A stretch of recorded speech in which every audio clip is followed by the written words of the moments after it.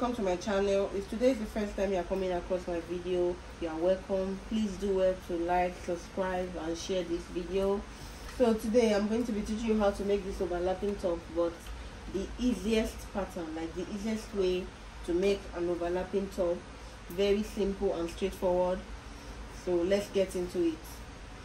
So now we are going to fold this. This is the edge of my material.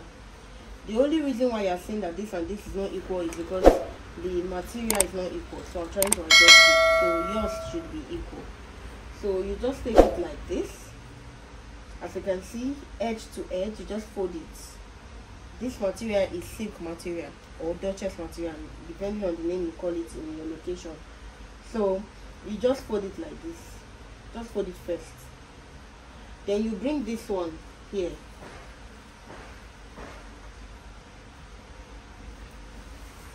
the reason for bringing this one here is you want to check if this is enough for her measurement for your client's measurement and which is the bust that we are considering.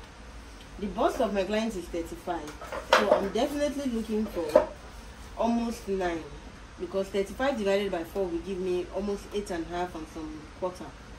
So that is almost 9 let's say i'm using 9 so then i have 2 inches left as my allowance so this is totally perfect for me as i folded it like this. So i'll just rearrange everything to make sure that they are in order. So then i will cover it back just the same way i did earlier. I'm trying to get a straight line.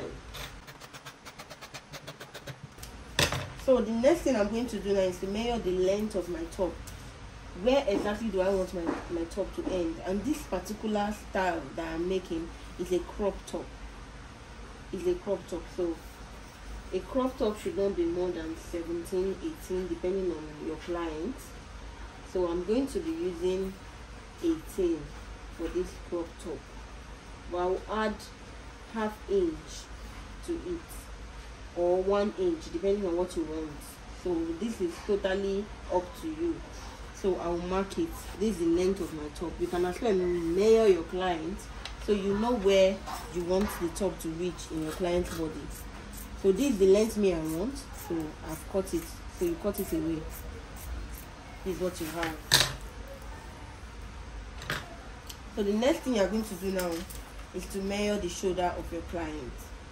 So the shoulder of my client is 16 that's 8 right because you divide your shoulder by 2 and not by 4 so that's 8 plus 8 is 16 so I mark my 8 just like this.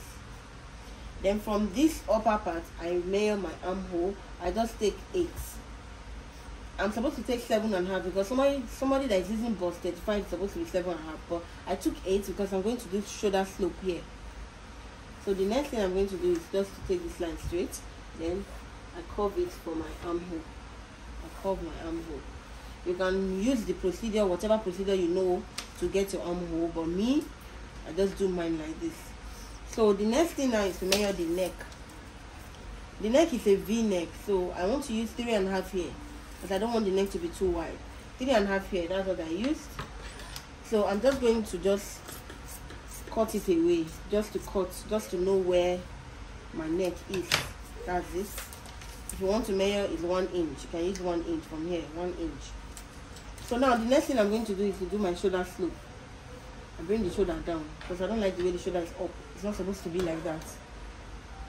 So now i bring my shoulder down. So i cut my armhole. So now after cutting your armhole you measure your bust. This is what i want. Is okay. Then the last part please. That's where you measure your waist. The last part that's where you measure your waist. Don't measure it here. Just measure it at the last part. You will still be correct. Don't worry. So your waist is the waist of my client is 30 so 30 will give me almost uh, that's almost 8 so i'll just take 10 i'll just do it like this. Straight like this. So i'll just cut it off. Just like this. This is what i have. So now this is the back and this one that I folded like this is the front. So now how do i get my overlapping? Look at how this place looks just like this. You can fold it like that. If you're overlapping reach this place. You can fold this one to reach this place but this is where i want my own to end. So from here the mayo six six inches is really good for for um, v-neck for somebody that does not like the neck to be too wide. So v um, six inches is really very perfect. If your client does not want the overlapping to be too wide six inches is the best measurement. So now i've cut it away. So from this end where this thing end where this neck end just take it straight down and meet it up with the down part. From where this neck end take it down straight like this so you cut it off. So this is what i have. So you notch this part. So you know that okay that's the middle. That's where the overlapping will end. So now you are free. This down part is something you must do there. There's something very important that you must do at this down part. So just take this side. Make sure you hold on to this point here this place that you notch. Hold on to it. Then drag this one outside like this. Drag it aside. This one is not optional. It's a must. That's why you see overlapping they don't come out well because you don't do this. So this is one inch that i've removed. Even sometimes i remove one and a half depending on how covered i want the neck to be and how perfectly overlapped i want the neck to be. So now you're going to cut it off. That one that you folded you cut it off. This is what i have at this moment so now i'm just, just going to open the clothes and see if my neck is in order. It's in order but I will just kind of trim this one so that they will be equal because they are not equal. So our overlap is already ready. So remaining the sleeve. So just take this like this. Usually if you fold it like this into two edges to edges this length is usually enough for the sleeve no matter how big the person is this length is usually enough. So that's why you're going to fold like this. Fold it into two like this. Just like this. Depending on how big the hand is. So according to the sleeve that we have for this dress it has something like this is how the shape looks. So i'm just going to form the shape that i saw there. This is how it will look so the only thing you're going to do now is measure from this beginning point measure five inches down five inches down then you connect it.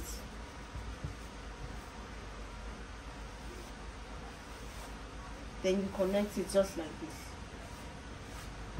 Just like this. Then from here just take it straight. This one you have here take it straight. Then take this one straight for the length let me check.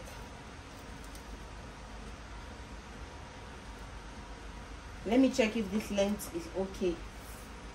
I need about 27 okay. It's okay for me? The length is okay. It's more than okay for me.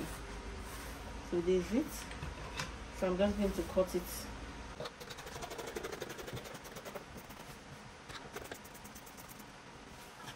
And from here I'm just going to do this like this.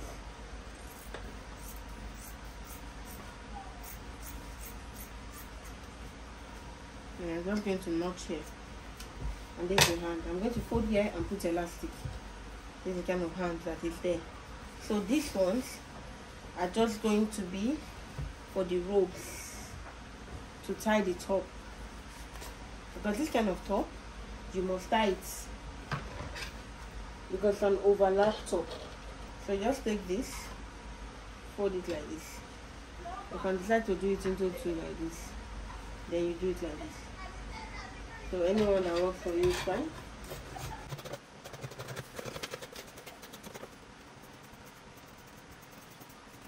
This is it. This is the rope for the two sides to tie it to the back. Then I used to usually cut another rope for the neck. With this same material, I used to turn the neck. I don't use bias. So that's that's it. That's all for that. This is the back. Why this is the front? I'm just going to put it on top like this. I've weaved the necessary part i weaved the shoulder here i didn't weave the armhole because i want to weave the sleeve. After i've joined the sleeve i weave them together. So now i'm just going to join the shoulder join the shoulder then sew my sleeve on it. So now this is the sleeve. I'm done sewing the sleeve and i've also weaved it. So this is it. This is one side zip and this is another sleeve. So the round sleeve is nine. So for this for the sake of this elastic that i'm going to be using for the sake of this elastic i'm going to be using you can use the white one uh -huh, or the black one any color you have is fine depending on the color of your clothes. So i might use white or black because black does not really show on this kind of material. So now you put it instead of nine you're going to cut eight instead. Instead of nine you cut eight instead. So that's it. So you just put it round. That's what i'm going to be doing now. So now i'm done with the sleeve i've also hold the shape. How do you hold the shape? Hold the shape from the back. That's the correct way to hold the shape. So when you turn the back just like this you just measure the bust you add one inch to it you mark it. Then you measure the waist you add one inch to it you just take it straight. Just straight like that that's all. So now what i did was i weaved it down. You can decide to fold it down once just like this or you fold it twice without weaving. So anyhow anyhow you want it is fine. So this is the the main thing now of this tutorial. How do i turn the neck? Please don't use bias to turn the neck. Don't use bias. This is the main purpose of this tutorial so that it will look very fine. Use the same material to turn the neck. So i'm just going to go now and sew this straight mat uh, material that you're seeing here this straight rope. I'm going to sew it on the neck round so now the next thing to do now i'm done sewing it on the neck and i have top stitched it. Look at the top stitching i top stitched it to where the rope is and not where the neck of the cloth is. Please note it. That's what i did. So now as i'm done like this the next thing for me to do now is to bring it down like this and and fold it in then bring it down. Then i go on and sew it. That's what i'm going to do to all the neck round. When you get to the neck side this, this neck side make sure you follow the curve like this. You curve it so that you enter. Let me go and do it so that you see. So now i'm done with the neck with the hand and everything.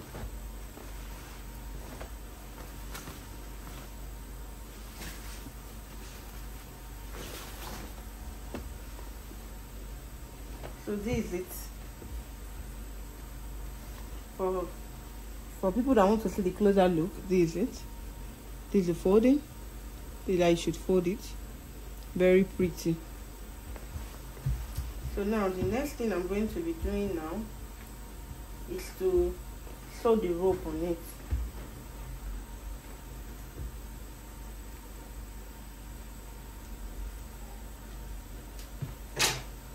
When i iron this you will not recognize it again. So this is the rope i cut when i was cutting earlier. So now i'm just going to take it. I'm going to open this side. That's the way i do it. So now this is what i mean. I'm just going to put place this here at the down part so that it will meet. I'm just going to sew it straight. Then i'll do it like this. When i do it like this then i'll stitch this v like this. I'll stitch it v like this. That's what i'm going to do to the other side too then after i will just iron it. So i'm just going to show you the final process when i'm done. So you will see it. Thank you so much for watching. If you have not subscribed please do well to subscribe. Click on the notification bell so that anytime i post amazing videos like this you will be the first to see. It like and share to your friends. Thank you so much for watching. See you next time